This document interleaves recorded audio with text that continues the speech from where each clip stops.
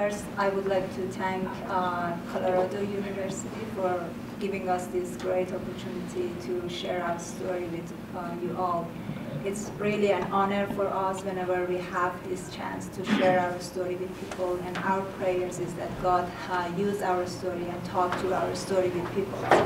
And uh, when we share our story, we always tell people that, uh, you know, we are not, thank you we are not uh, two heroes, we are just two ordinary uh, people, women that uh, God used us uh, and uh, revealed himself uh, to us and did many miracles in our, our lives and he is really our hero.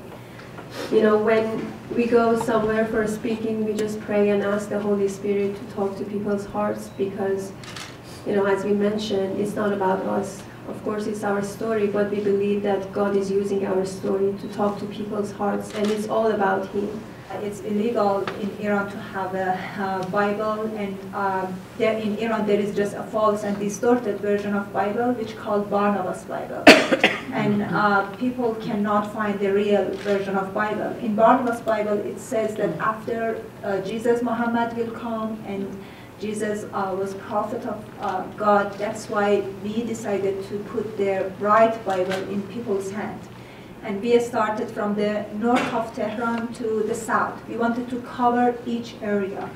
That's why uh, usually at night we carried about 114 uh, New Testaments in our bag, uh, backpack and visited one area and put those are New Testaments in mailboxes. So every day we were evangelizing uh, people. We believe that we are two evangelists and we love to talk about Jesus with uh, people. And every day whenever we went for shopping, eating at restaurant, doing our chores, we were talking to people and handing the Bible as a gift.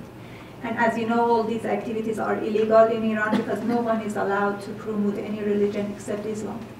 That's why some people had reported about our activities and the Iranian government uh, arrested us in 2009.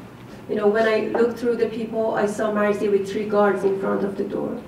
At that moment, my mind was in shock. I, you know, I thought that I needed to do something to at least call someone and let them know what was happening.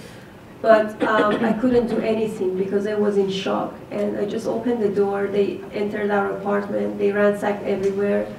They took both of us with all our belongings like Bibles, Jesus movies, um, personal belongings, laptops, um, to, uh, and everything that they had discovered uh, in our apartment to the security police.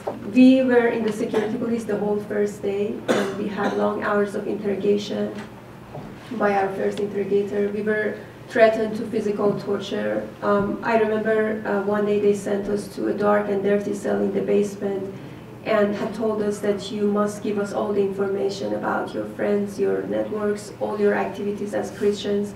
Otherwise, we will beat you until you vomit blood.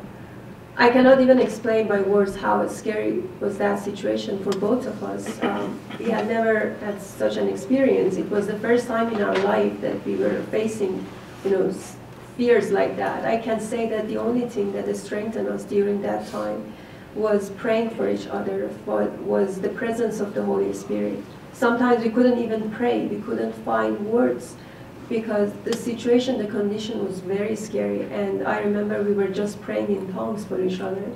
And I, I, I could really feel that the Holy Spirit was leading us in prayers and strengthening us. I can say that physically we were under so much pressure. For days we did not have anything to eat or drink. Uh, we could not see the light. But, um, you know, as we could see God's miracles and how he was using us as a tool to give his message to our fellow prisoners and to some guards, we became so encouraged and we understood that God had a plan for us, even in that dark place.